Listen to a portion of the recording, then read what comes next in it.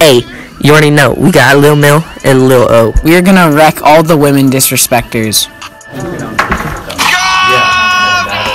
I heard you were a woman beater. Well, you should be a woman treater. Respect for women is the best. If you don't have it, you are a pest. Purple ribbon is what we stand for. Half of homeless women are really poor because they get hurt by their partners. One fourth women need some armor.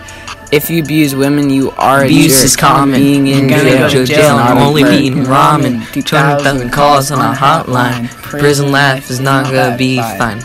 If you didn't know, girls still fight guys. Happens more to 25% of the time. Not all victims are women, so don't get it wrong. If you think we were kidding, then listen to our song.